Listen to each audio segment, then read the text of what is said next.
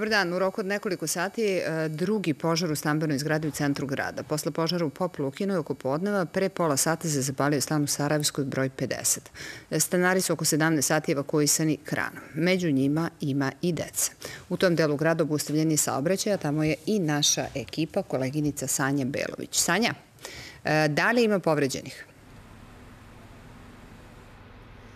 Ovako, tako je pre jedno pola sata izbio je novi požar ovde u Sarvojskoj ulici gde se sada mi nalazimo i možete vidjeti da je potpuno blokirana ulica, ovde saobraćaj ne ide. Dosta ljudi je promatralo šta se dešavalo, odvijela se prava drama. Povređen je čovek čiji je stan izgoreo na trećem spratu, on je evakuisan preko terase sa vatrogasnim kranom a posle možda nekih desetak minuta, kada je hitna pomoć preuzela muškarca i prevezla ga na toksikologiju Vojno-medicinske akademije. Taj dim je počeo da se širi, tako da su vatrogasci, e, njih 20 vatrogasnih spasilaca ovde na terenu koji su e, bili još uvek deo ekipe ovde, onda su evakuisale stanare sa gornjih spratova, e, najpre decu, a onda starije članove porodice. Kao što si rekla, za samo tri sata dva velika požara u glavnom gradu.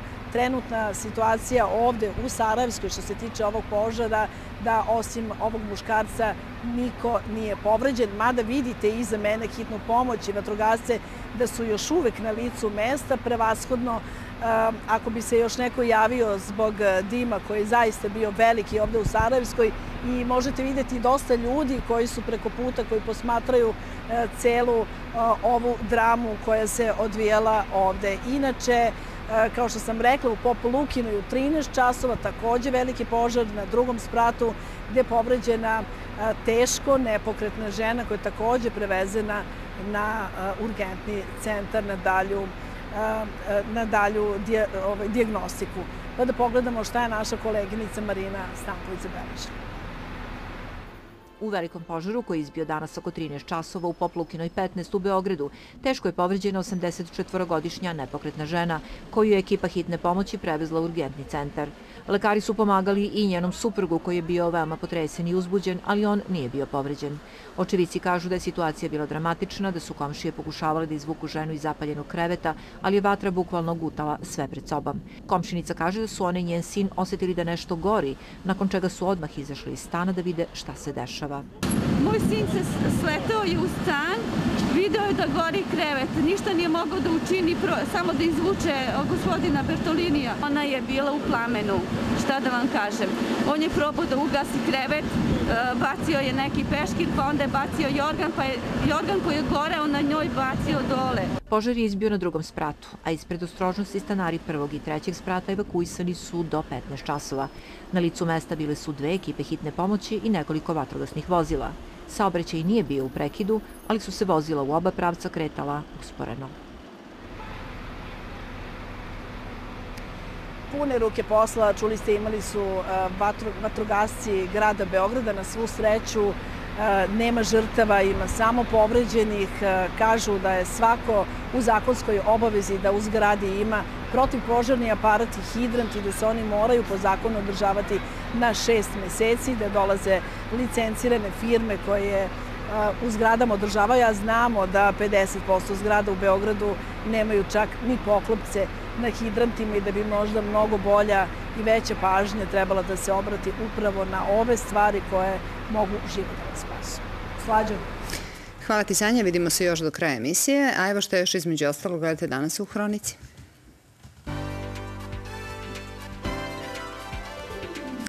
Više od milijon vakcina protiv COVID-19 dato je u Beogradu. Da li taj broj uspad broja zaraženih može da bude razlog za dodatno popuštanje mera u glavnom gradu? To između ostalog pitamo Gorana Vesića, zamenika gradonačelnika.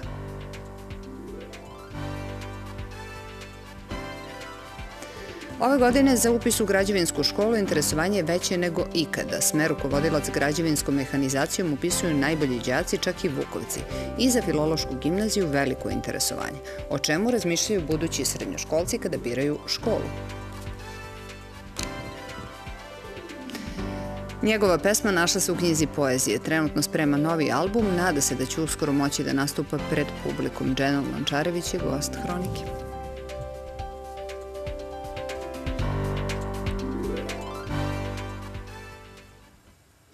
I nekako se navikli da uvek na početku se bavimo brojkama. U Beogradu je do jutro s par jednom dozom vakcinisano više od 600.000 ljudi, a i drugom dozom prema jučerašnjim podacima više od pola miliona. Ukupno je dato 1.131.749 vakcina. A evo kako su se vakcine sa švedskog stola srpske imunizacije do sada e, trošene u Beogradu. Sinopharmovu je primilo više od 720.000, Sputnik V 172.500, Pfizerovu skoro 208.000 e, i AstraZenekinu vakcinu gotovo 61.000 ljudi. E, pre nego što uporedimo procenat vakcinisanih, apsolutni heroji imunizacije jesu stariji beograđani, više od 75% vakcinisanih stariji od 60 25 godina. U Beogradu je do sada bar jednu vakcinu primjelo više od 45% stanovnika, u Srbiji 36%. Drugom dozom u glavnom gradu vakcinisano je već 36% punoletnih stanovnika, u Srbiji 28,2%. Ovo su podaci od juče, taj presek je rađen u 22 sata. Vakcinacija se nastavlja. I još jedan podatak, interesantan, prosečna starost vakcinisanih u Beogradu je 57,6 godina, više žena nego muškaraca, 54 e, prema 46 odsto. Zamenik gradonačelnika Beograda, Goran Vesić i gost Hronike. Dobar dan, dobrodošli. Dobar dan, hvala što ste me pozvali. E, ovo su podaci koje vi svakodnevno dobijate, vi ove podatke znate, e, ali pre nego što pređemo na priču o vakcinaciji, ja moram da se vratim na početak emisije, bili ste ovde i to takođe znate. Danas dva velika požara u centralnim gradskim ulicama. Ja apsolutno znam da to nije nadležnost grada Beograda, ali vi sigurno takođe znate da e, aparati za protivpožarnu zaštitu uglavnom ne postoje u stambenim zgradama. Da li bi grad recimo mogao da uradi nešto da pojača kontrolu ili kako god, da upravnike stambenih zgrada prosto natera, ako ne može drugačije, da obezbedi te stambene zgrade. Pa tu vrstu kontrole ne radi grad, već protiv požarna policija, odnosno mm -hmm. MUP Republike Srbije. U svakom slučaju pravu ste, očigledno da bi bilo neophodno da se predsednici Skupština stanara, odnosno upravnici stambenih zgrada, kako se to sad zove, malo više pozabave zajedno sa, sa svojim skupštinama stanara, odnosno stambenom zajednicom, da se obezbede protiv požarni aparat. Imali smo danas dva požara, ovaj u Sarajevskoj 50, on je prijavljen u 16.38, mm -hmm. vatrograci su bili već u 16.44 na terenu. Bila su dva, 22 vatrogasa, dva, dva navalna vozila, jedna autocisterna, jedne leste. Preko tih lesti je evakuisan ovaj čovek koji, hvala Bogu, je spašen. A što se tiče ovog drugog požara, znači u Pop Lukenoj 15, on se dogodio u 13.02 je priljen, u 13.08 su već bili vatrogasi tu, takođe 22 vatrogasa i tu je nažalost jedna osoba, teško povređena. Ja se nadam da će, da će biti dobro, ali to jeste dobar predlog a, da inicijaću, ću, pričat ću zajedno sa, sa sa znači upravo za vanne stacije MUPA Srbije, da pozovemo upravnike stambenih zgrada, kontrola. da im se uputi jedan apel da provere protivpožarne aparate a, i da onda naravno najavimo da će biti i kontrole. Odličan je to predlog. Jeste da nije nadležnost grada, ali ne znači da grad ne treba time da se bavi, jer to su naše građanke i građani. E, dobro, ajde da, da onda pričamo o onome što smo sada videli. E, pitanje je s početka emisije. Više od milijon vakcina protiv COVID-19 dato je u Beogradu. Da li e, toliki broj vakcinisanih uz ovaj pa, pad broja novozaraženih e, može da znači eventualno novo popuštanje mera? Ja znam da ćete vi da kažete odmah da može, pošto se vi za to zalažete od samog početka i kad su brojevi bili veći. E, naravno, zato što mislim da je Beograd, kao što ste sami rekli, najbolji region u Srbiji kada je u pitanju vakcinacija. Jeste. Nama u Beogradu nedostaje zaključno sa jučerašnjim danom, znači danas se već polako zatvaraju vakcinalni puntovi, znači nama u Beogradu sa jučerašnjim danom nedostalo 60.221 novo vakcinisano lice, da dođemo do 50 100 vakcinisanih u Beogradu. To znači da svaka druga Beograđanka i Beograđanin budu vakcinisani. To je velika pobeda, to je veliki uspeh. Malo pa ste vi pomenuli podatak da su ljudi u, populaciji preko 65 godina je vakcinisano preko 75%. Recimo u nekim gradskim opštinama kao što su Stari grad, Vračar i Saski Vinac, taj procenat ide i preko 85%, što znači da smo zaista veliki broj građanka i građana zaštitili. A u tom smislu ja zaista smatram da nije, da Beograd ne treba da deli sudbinu onih opština na teritoriji Republike Srbije Srbije mogućnost- 10% ili Jasno, 12%. ali Jer smo da- se mi pokazali odgovornim i Beograđanke i Beograđani treba da budu nagrađeni. U petak je krizni štab, razgovarat ćemo u tome. U petak se na stolu će se nalaziti četiri protokola koje je grad Beograd predložio. To je ono što zajedno- ste predložili pre mesec Tako, dana. zajedno sa Gradskim zavodom za javno zdravlje, koji je izradio Gradski zavod za javno zdravlje. Vezano za, za proslave, Za organizaciju za proslava, matura. manjih organizaciju matura, organizaciju kongresa, seminara, a zatim organizaciju koncerata, organizaciju festivala, a za sve su razrađeni do detalja protokoli. Naravno, ni, ništa se od toga neće organizati kao pre COVID-a, ali će uz poštovanje određenih mera moći da se organizuje. A, mi smo danas imali određene konsultacije sa imao sa premijerkom. Mislim da ćemo, da ćemo a, vrlo brzo omogućiti or- organizaciju kongresa i seminara iz vrlo jednostavnog razloga, zato što su naši hoteli sve puniji. A, čim budemo završili... To znači dolaze stranci. Pa da, čim budemo završili priznavanje sertifikata sa Izraelom, radi se na tome sa Turskom, možete da očekujete da hoteli budu puni.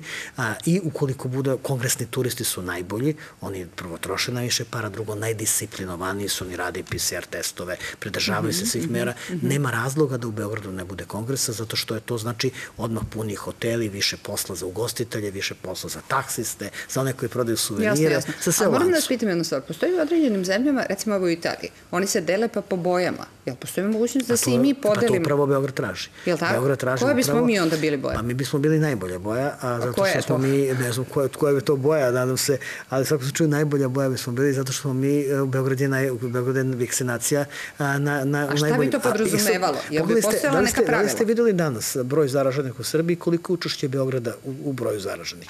Videli ste da je mnogo manje nego što učešće broja stanovnika u, u ukupnom, stanovnik, e, ukupnom broju stanovnika Srbije. Što znači da imate direktan uticaj vakcinacije na manje zaraženih. To je naprosto jasno kao dan.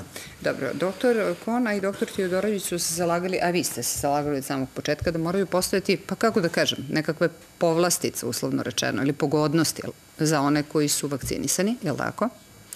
E, tako je, ali e, kao što se sami mogli da u ovom trenutku su se fokusirali na organizaciju povlastica za one koji se vakcinišu. Znači, videli se da smo u tržnim centrima obezbedili da se dobijaju voucheri. A, I to je dalo to se, efekta. to, to je dalo efekta. Ja moram da kažem, ja sam se borio od početka za otvaranje tržnih centara, čak sam napravio punkt i pre nego smo dobili odluku a, kriznog štaba, podržao me je predsednik Vučić, podržali su me a, ljudi iz Gradskog zavoda za javno zdravlje i pokazalo se da smo bili u pravu, jer mi smo imamo, vidite kako dobro ide vakcinacija u Ušću. Mi sad spremamo još tri tržna centra, spremamo onaj centar Vojislava Ilića, tamo koji pokriva taj ceo kraj deo Zvezdare, Vračara i Voždovca, spremamo galeriju u Beogradu na vodi i spremamo Rajićevu, tako da ćemo tu otvoriti, a, a, a naš autobus za vakcinaciju, kao što vidite, iz dana u dan ide iz opštine u opštinu, bio je na Disigalni, pa u subotu, po nedelju na Rakovici, danas, juče u Barajevu, danas u Lazarevcu, da je bilo onih koji sutra je u Grocskoj, preko sutra u Velikom oknom lugu i to je zaista, zaista sjajno. E, Recimo, znate da je bilo onih koji su polemisali na tu temu, otvaranje punktova za vakcinaciju u tržnim centrima, kažem, koji su... ja ne znam, a, ne znam, e, e, ja sam, e, ja, ja, se, ja se bavim time da, ovaj, da naš grad bude zaštićen. I trudim se da, da prepišem, i to ne krijem, nisam ja to izmislio, trudim se da prepišem sve najbolje sveta za Beograd, jer Ja ja mislim da Beograđanke i. Beograđani zaslužuju jedno najbolje sveta. Ja sam e, vakcinaciju u tržnim centrima video na internetu, u Njujorku, u Londonu, u Moskvi i Tel Avivu. Lično sam video u Moskvi vakcinaciju u metrou. A, pored toga, autobus za vakcinaciju postoji u Njujorku i Londonu. Po tome ja se trudim samo da ono što dobro ljudi drugi rade, pa prepišem za Beograd, neka to izgleda brže u odnosu na neke druge, pa se možda neko i ljuti, ali u svakom slučaju ja se zaista trudim da naši ljudi dobiju najbolje. Tako da, ako mene napadaju, pa nek, nek padnu e, gradonačelnika Njujorka, neka pitaju zato što u Njujorku to radi. Inače, samo da znate, država Njujork je pre neki dan objavila čitav, čitav niz subvencija za vakcinisane kao država i to radi druge američke savezne države. Pra tome, očigledno, takve prakse postoje u svetu. Mene, mene malo pogađa što napadaju pojedini mediji ljude koji uzmu voucher kad se vakcinišu, jer znate, kad se u Americi napravi besplatna podela čarapa, pa je gužva u tržnom centru. Jednostavno, zašto, zašto vređati te ljude? Ljudi su došli, tu su došli da završe neki posao, da kupe nešto, dobili su voucher, vakcinisali se i ja ne vidim zašto je u tome problem. I mislim da zaista treba motivisati ljude da se vakcinišu. Ja pokušavam vas da motivišem sve vreme, da mi kažete ili čekate da prođe krizni štab. Da će oni koji su vakcinisani imati šta? Hoćete da, pa, da kažete znate, javno? Oni koji su vakcinisani imaju već 3000 dinara će dobiti koji je vakcinisan, znati sami odluku vlade i to je za sad ono što su vakcinisani će zaista dobiti. A već imaju određene popuste, recimo kada putuju u Grčku. A što planirate da organizujete nešto? E, to je nešto drugo. To e, pa to je nešto e, drugo, e, vi nikako da mi izgovorite. I to je, i to je dobro ste me podsjetili, pošto smo pričali pre emisije. E, danas sam imao sastanak sa direktorkom Republičkog fonda za zdravstveno osiguranje i dogovorili smo se da Beograd, u, da se u Beogradu uradi jedan eksperiment, kao što su rađeni u Barceloni, u Holandiji. Nadam se kontrolisani eksperiment. Naravno, to će, to će biti rađeno pod kontrolom Republičkog fonda zdravstvenog osiguranja, medicinskog fakulteta, svih onih koji tome učestvuju. Dobro. Grad Beograd će samo dati logistiku. A, oni će uraditi jedan eksperiment u kome će a, organizo, biće organizovan koncert. Gde? A, biće vjerojatno da li, oni će izabrati mesto, da li to Šmajdan, da li Dobro, na otvorenom svakako. Biće u svakom slučaju jedan na otvorenom, jedan na zatvorenom. Oni će odrediti ko dolazi na taj koncert, da li samo vakcinisani, da li oni sa antigenskim testovima, da li oni sa PCR testovima negativno. Dobro. To je stvar na njima.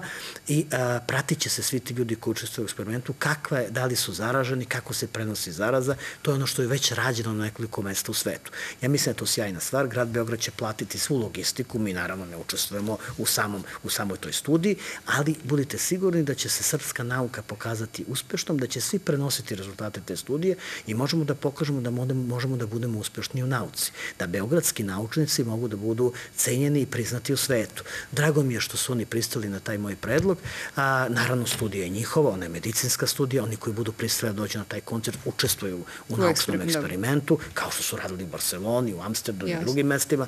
Tako da, da se veoma radujem tome, jer će nam to pomoći prilikom donošenja odluka o tome kako da se organizuju koncerti, kako se organizuju festivali, jer imaćete neku egzaktnu, kako da kažem, egzaktnu uh, pokazatelje kako se širi virus i yes. kako se ne širi. E, ono što mnogi takođe brine, moram da vas pitam, to je rok za legalizaciju ističe 2023. godine. E, opštine nisu očigledno baš najbolje uradila svoj deo posla, pa predlažem da pogledamo jedan prilog, a onda se vraćamo Hvala. da to prokomentarišemo.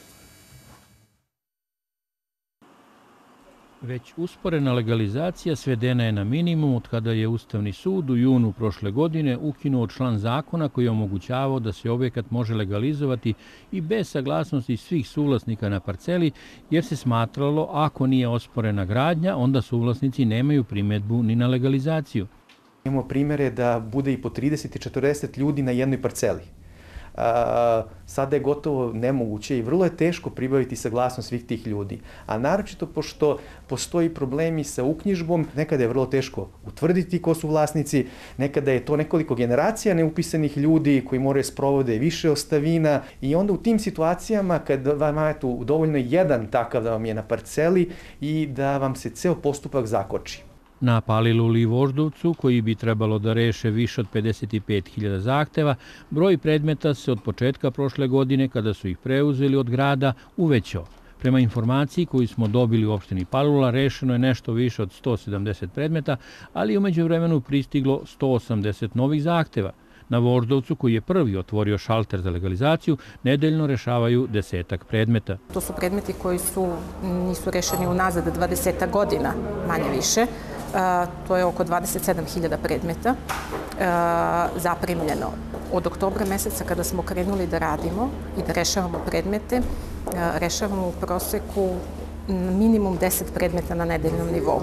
Od onog trenutka kada građanin ima kompletiranu dokumentaciju u smislu imovinsku i tehničku, u tom roku ćemo biti rešen predmet. Mi smo primili dosta i novih zahteva, tako da od oktobra, kada smo krenuli da radimo, do današnjeg dana primili smo još 512 novih zahteva za ozakonjenje.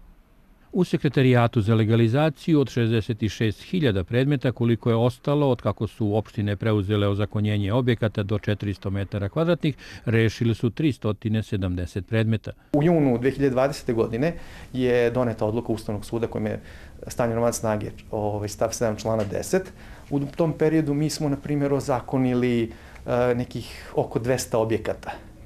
Ove godine, kad ta odredba ne važi, u tom istom periodu mi smo ozakonili 70-ak. Znam da su sve opštine ukupno na teritoriji grada Beograda prihodovale oko milion dinara od taksi za ozakonjenje. Da bi uopšte mogao da otpočne postupak legalizacije, potrebno je da katastar potvrdi da je objekat vidljiv na snimku iz 2015. godine. Oni koji su počeli da grade sa dozvolom, pa potom dozidali sprat 2, trenutno su u velikom problemu koji je još veći za one koji su kupili stanove u tim zgradama. Od Ministarstva građevinarstva, saobraćaja i infrastrukture nismo dobili odgovor da li se priprema izmena propisa ili će se u okviru važećih tražiti novi načini da se legalizacija obrza. E sad, pažljivo ste ovo gledali. Pitanje se nameće samo. Zašto ovi po opštinama skoro ništa nisu uradili i ko je zakazao u tom lancu? Pa opštine su pre nekoliko godina, pre dve godine kada smo menjali zakon o glavnom gradu i statut grada, izrečito tražile da dobiju tad im je grad nudio do 200 kvadrata, oni su tražili do 400 kvadrata. I kao što vidite, nisu i naša ideja zašto smo dozvolili da opštine rade legalizaciju do 400 kvadrata, upravo bila ta da omogućimo da ljudi brže tu gde žive rešavaju svoje probleme. Ali usporedno. To se, pa tako je, to se očigledno nije pokazalo uspešnim, a, tako da treba razmišljati o nekim novim modelima. Što se sama legalizacije tiče, ja tu moram da budem jasan. A, tu treba odvojiti ljude koji su a, radili privatne kuće od, ne znam, 20 kvadrata, 30, 50, a, da, se, da žive sa svojim porodicima dozidali, ne znam, jednu, jednu sobicu i tako dalje, od kriminalaca koji uh, grade zgrade od pod 1000 i 2000 kvadrata, pljačkaju državu, pljačkaju, varaju ljude koji kupuju stanove, ne rade infrastrukturu, opterećuju postojuću infrastrukturu, ne plaćaju obaveze prema državi, nemaju parkinge i uništavaju grad. Znači ja a, nikada kao grad, to vam sad otvoreno kažem, ja lično neću pristati na bilo kakvu izmenu zakona koja štiti kriminalce, a, a, a stavlja ih u isti koš sa običnim ljudima. Jedna je stvar da li su obični ljudi, mnogi su ljudi iz muke to uradili, doselili se, izbeglice i tako dalje i mi treba da rešimo problem tim ljudima. A što se tiče ovih što rade po gradu, što su gradili po zgrade po 500 kvadrata, 1000 kvadrata, ne plate ništa državi, a, ne urade parkinge, a, ne prave... Ali to su pritom, velike kvadrature pritom, koje su na gradu. I pritom da vam kažem, pritom da vam kažem, ja, istovremeno rade posle, posle snimka. Čuli ste sada iz predloga da kažu, uradili su po građanskoj dozvoli, ne znam, tri sprata, ali su dodali dva. Da. A ko im je dozvolio da dodaju dva? Pa, ne znam, pa to, pa, znači, da. Neće, pa to neće moći da prođe, zato što je to jednom u ovoj zemlji mora da se zna red. Ne mogu, znači, jedna stvar su obični ljudi, ja ću se uvek zalagati da za njih potpuno, da, znači za običan narod koji ima do 20, 30, 50, 100 kvadrata, to su ljudi koji su gradili kuće, imate mnogo izbeglica iz krajina, imate ljudi koji su, koji su morali to da rade, da se za njih potpuno uproste procedure, da malte ne im ne treba ništa kako bi se rešila legalizacija. I tražit ću između ostalog i da ne plaćaju porez unazad, nego da plaćaju trenutka kad su legalizovani ukoliko nisu, nisu bili u sistemu. Što se tiče ovih što rade hiljade kvadrata, što misle da su pametniji od države što misle da mogu da pljačkaju gradski budžet. Nasele ljude, pobegnu, a onda ti ljudi dolaze kod nas i tražu pa nemamo kanalizaciju, pa nemamo, nemamo parkinge i tako dalje. Znate u čemu je razlika? Kad vi gradite zgradu, onda dobijete sve uslove. Morate da pojačate infrastrukturu, morate da uradite parking, morate da uradite po svim pravilima. Ove zgrade koje su gradili, niko nema, ne garantuje da su one bezbedne kad bi se ne daj Bože desio Dobro, neki... kad možemo da očekujemo taj da, novi model tako da ne znam, Tako da ne znam šta će to biti, ja samo mogu da vam kažem da je stav moj da a, treba pomoći ljudima koji su, koji su zaista obični ljudi, a ovim kriminalcima koji grade čitave zgrade i misle da su pametniji od države, novi za, nov, bilo kakav novi propis ne može da pomoći. A jel možete ja tim sam, običnim ljudima ja, da obećate poruka, da do 2023. Moja, će biti rešeni? Ja se nadam da hoće i radit ćemo na tome. Moja poruka ovima što grade zgrade, neće se menjati zakon da biste vi zaradili ponovo, a država izgubila. A znači naći ćemo način da vi ne zarađujete, a da država ne gubi, jer to nije normalno šta rade. Znači, ko radi legalno, on plaća doprinose za građansko zemljište, a mi iz tih doprinosa radimo puteve, kanalizaciju, vodu. Ne, nego bi oni još preko toga, inače se mnogo dobro zarađuje na, na, na gradnji u Beogradu, malo im je to, pa bi još da zarade tako što, bi, što će da opljačkaju državu. Pričamo o što grade po hiljadu, dve, tri hiljade kvadrata, još varaju građane. Imam još dva važna pitanja i molim vas da budete kraći jer mi je važno da mi date e, odgovore. Prvi je zašto, nećemo, zašto će biti odložen tender za e, nabavu, nabavku ekoloških danas, autobusa? Danas će biti odložen tender za nabavku vozila zašto? zato što 100, 100 autobusa na gas i bit će novi raspisan početkom juna, odmah posle, pošto budemo imali Skupštinu grada, zato što smo uspeli među vremom da pronađemo, pronađemo povoljnu liniju iz Evropske unije koja nam omogućava da na 30 miliona evra koliko će koštati ti autobusi dobijemo povrat od 3 miliona evra, odnosno 10 odsto. Ako sa novim autobusom autobusima na gas ukinemo one autobuse koji imaju Euro 2 i Euro 3 motore. Mislim da je veoma dobro da grad dobije nazad 3 miliona evra, nismo baš toliko bogati da možemo se odreknemo 3 miliona evra i zato ćemo promeniti model, pristati na takav uslov finansiranja i bit će ponovo raspisan tender kako, bi, kako bismo, naravno, kažem, na taj način pod mnogo povoljnim kamatama koje su vrlo niske i naravno koristeći tu beneficiju koju ćemo dobiti, vratili nazad 3 miliona evra u budžet. Tako da, e. to, to je inače vrednost 10 autobusa, tako da s te strane to je razlog u čega ćemo raditi, znači bit će kupljeni autobusi, samo što će novi tender biti raspisan početku juna. I još samo jedno pitanje. Nije možda moment za to, jer u ovom trenutku još postoje mere koje su na snazi, ali e, najavili ste da će se stati na put bučnim lokalima. Da. E, odmah... I budite sigurni da hoće, pošto hoće... sam poznat po tome da kad nešto najmi tu dobro. vidite kako oko Sokolova radi. Do, dobro. Kako smo ove bahate poslanjali s ulici. Dobro, dobro, ali koliko brzo? A, nadam se do jeseni, zato što sam imao sastanak sa Irenom Vujović, ministarkom za životnu sredinu, radimo na predlogu zakona o buci, da ukratko uprostim da prevedem na srpski, tim zakonom će biti omogućeno, pošto sada kada neko prijavi buku, mm -hmm. onda komunalna milicija izađe, konstatuje, ili inspektor konstatuje buku, onda se angažuje firma za meranje buke koja mora da najavi onome ko je vlasnik kafića kada će doći i da onda navodno meri buku. Onda vam je jasno da nikad niko nije kažnjen, jer niko, niko Zato nema buku. ne izmeri buku, naravno. E sada izmenom zakona rešavamo to tako što će svaki komunalni milicioner na licu mesta meračom buk, to je jedan mali aparat Apart. koji kupujemo, mm -hmm. proveriti buku. Pre toga smo uradili zoniranje planiranje grada utvrdili izvore buke. Nisu samo kafići izvor buke, negde je to autoput, negde su to, imate druge, druge izvore buke, snačno se zna kakav je gde izvor buke, kolika je dozvoljena buka i na licu mesta može da napiše kaznu, da izda upozorenje ili čak da oduzme sredstvo sa koga se emituje muzika. I budite sigurni da će to dovesti u red, apsolutno dovesti u red jedan od najvećih problema Beograda, a to su buka i para i mirisi. Jer sad kad biste uradili anketu, verujte da bi većina građanki i građana Beograda rekla da im smeta buka. Znači, vi znate koliko se borim da rade ugostitelji, ugostitelji treba da rade, ali treba da rade tako da omogući da ljudi koji žive u tim stambenim zgradama žive normalno. Znači, znači ne mogu da maltretiraju ljude i da imaju muziku koliko oni hoće, pogotovo ne onom, uh, onom snagom koja nije dozvoljena. Većina ugostitelja to poštoje, ali opet imate neku manjinu koja, koja pravi probleme. Zato će to biti, biti rešeno i to zaista mogu da obećam građankama i građanima Beograda. Hvala vam što ste bili s nama. Hvala vam.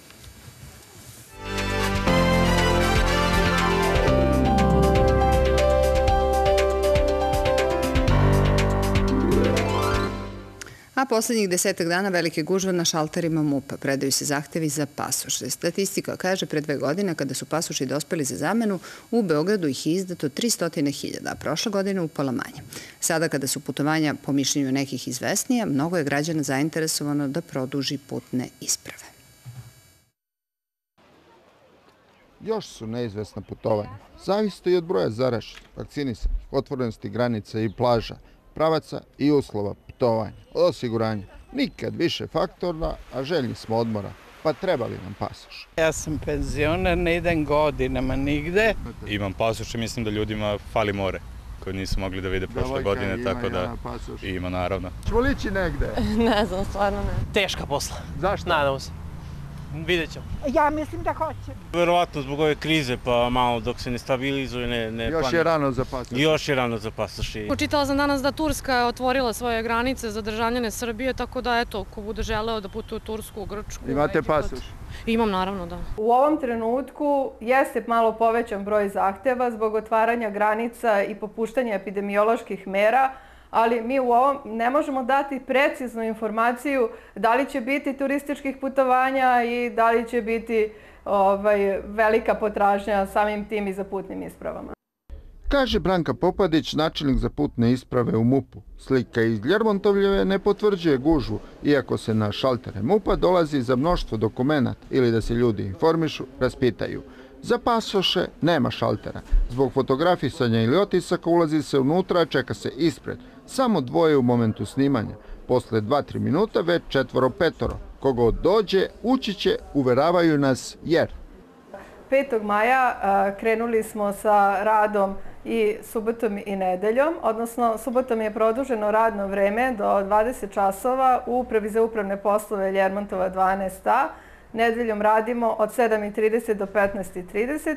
Isto to radno vreme je u policijskoj stanici na Novom Beogradu u zgradi Siva 3. Ovo su podaci za Beograd, s tim da policijske stanice primaju zahteve radnim danom do 20 časova uveče, a subotom do pola četiri. Za pasoš se mora doći lično u MUP, ali se bar moment predaje dokumenta može zakazati. Preko portala e-uprave, e-zakazivanje u 10 policijskih stanica na teritoriji grada Beograda. Svi koji ne mogu da zakažu mogu doći lično u bilo koju policijsku stanicu i čekanjem u redi predati zahtev. Osim zakazivanja od olakšica izdvajamo i mogućnost da se online plati. Isto tako uplata za pasoš proveri, pa uplatnice ne moramo tražiti po džepovima. I izvod iz matične knjige i državljanstvo MUP pribavlja službeno.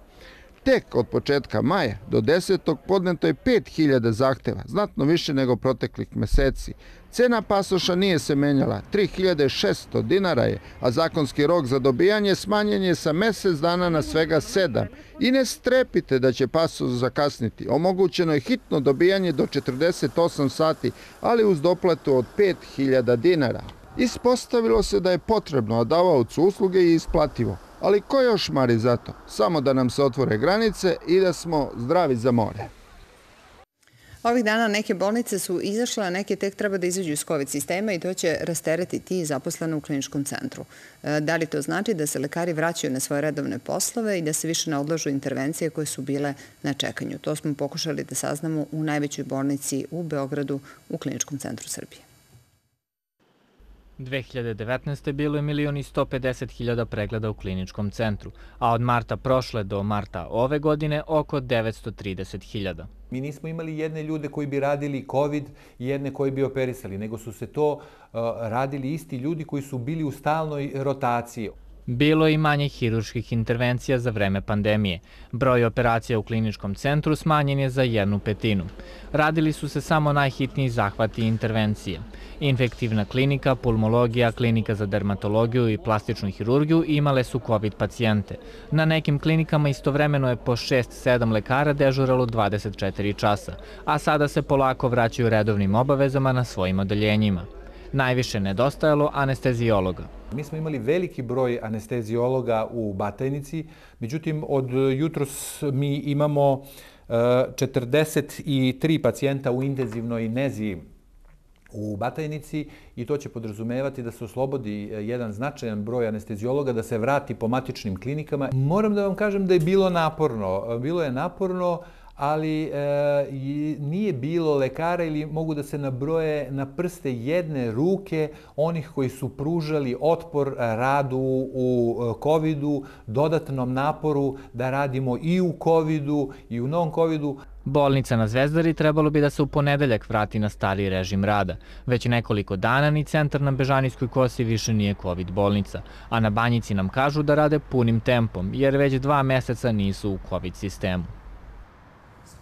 U Beogradu je trenutno 29 stepeni, naša ekipa uh, je i dalje na terenu. Uh, trebalo bi da su trenutno nadi ciganlije, ali najpre Sanja. Uh, da li u Sarajevskoj, gde si bilo malo pre, dežuraju vatrogasci zbog požara? Tako je, Slađo, e, požar je ugašen u Saravskoj ulici, međutim, e, dva vozila vatrogasna i dalje su ostala na terenu, kao i kola hitne pomoći da dežuraju za slučaj da nekom nešto zatrebaju, a i jak vetar duva u Beogradu, pa zbog predostrožnosti i dalje su tamo vatrogasne ekipe. Ono što je bitno da kažemo da je Sarajevska ulica i dalje zatvorena za saobraćaj, a dok smo dolazili ovde do Ade Ciganije, opet važna informacija za one koji idu u pravcu Sarajevske ulice sa sajmu, da je veliki čep i velika gužva upravo zbog požara koji se dogodio u Sarajevskoj ulici negde oko 16 i 20 časova.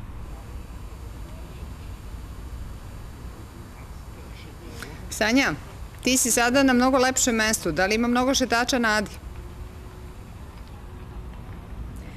Tako je, mi smo očekivali možda da ćemo vidjeti i neke kupače, ali izgleda da je rano, iako je 29 stepeni, ali ima dosta ljudi koji voze biciklu, rolere, velika gužva nadi i prosto smo svi jedva i dočekali da dođe ovo lepo vreme i da nekako krenemo napolje, mada meteorolozi najavljuju neko pogoršanje vremena za naredne dane, ali opet, kažem, neće biti hladno, bit će toplo vreme, pa ćemo pregurati tih nekoliko dana, pa onda ponovo lepo vreme. Slađom. Hvala ti, Sanja, na uključenju.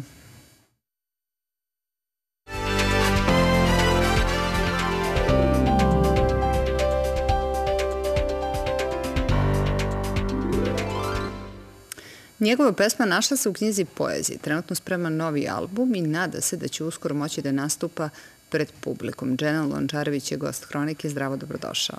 Hvala, bolje te našao. Znaš da, sad pokušavam da se setim, kad smo se zadnji put videli u normalnim okolnostima? Sad hoću da kažem, znaš, sve nešto bilo online, sve, sve sam se nešto uključivao. Jeste, ali znaš kada je to bilo zadnji put? Pa, ne, ne znam. Bila je premijera, nije premijera, nego je bio onaj novi spot za pesmu, čini mi se duga.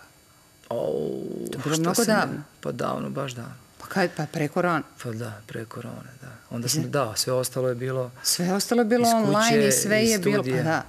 Hvala Bogu pa sam mogu ti pružim ruku. Ja se iskreno nadam da ćemo ovaj, da prebrodimo ovo, ovo zlo i da se, da se onako što pre zagrlimo svi. Evo, najiskrenije, to je moja želja. Jasno, ja sam te pitala malo pre, bio si ovde u studiju i slušao si razgovor i čuo si da ovaj, ministarstvo, da kako beše ministarstvo, Fond za zdravstveno osiguranje spremaju jedan eksperiment mm -hmm. u mhm. Beogradu. Ako te pozovu da učestvuješ, to Odmah. znači organizovaće da. koncert da. Uh, i na otvorenom i u zatvorenom. Ja ću ne, ne i otvorenom i zatvorenom, nije problem nikakav. Hoćeš da učestvuješ, da, si, jel? Da, 100%.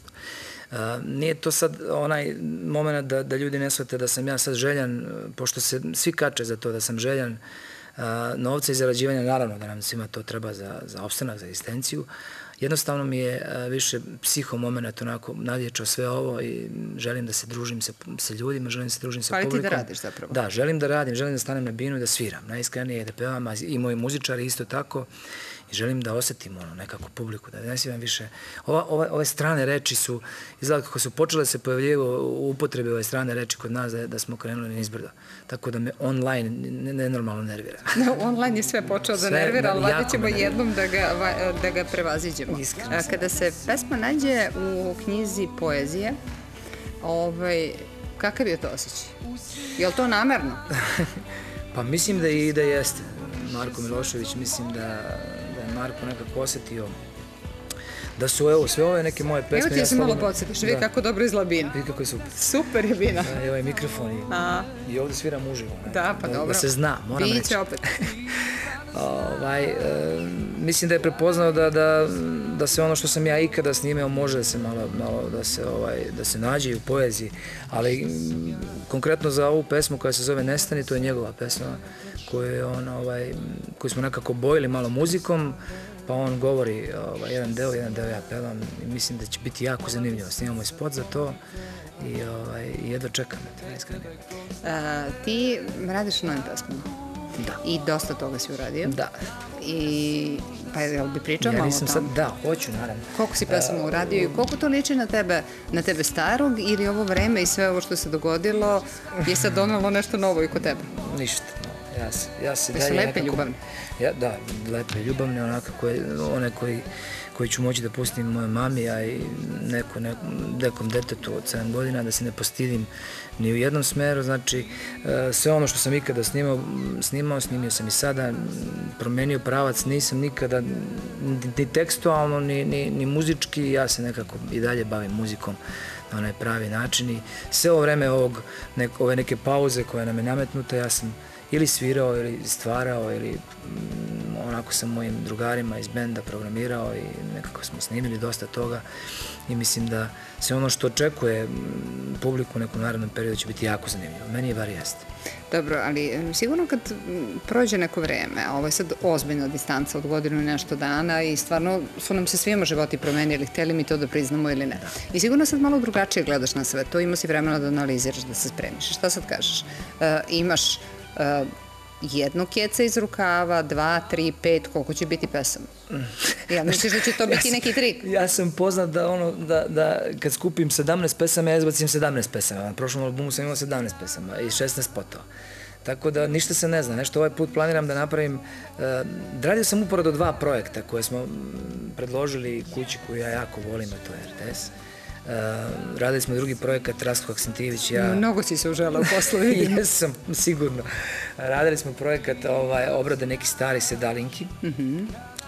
Pa ne da ne, nisu zaboravljene, ali smo ih mi nekako obojili, neko, upakovali neku, neki, neki drugi zvuk, neko drugo ruhu, tako da jedva čekam i to da čujem. Da, da, jako. Čak se dopalo i rukovodstvu, bar onim ljudima koji su čuli sa RTS-a. Ovaj, I to nekako završavamo, završavam i ovih nekih osam pesama sam ja rekao da će biti, a sad da li će biti 9 ili 10, ne znam. Imam pesama. Dobro, jedva čekam, obećaj da će doći, ja, doći čim bude gotovo. Hoću sigurno, jedva Hvala čekam da dođeš sa CD-om. Hvala ti. Hvala. Hvala ti što si bio s nama. Poštovani gledalci, mi smo došli do kraja današnje emisije Beogradske hronike. Vi ostanite uz RTS, Ana je sa vama sutra, vas pozdravljam, vidimo se u četvrtak. Doviđenja. you.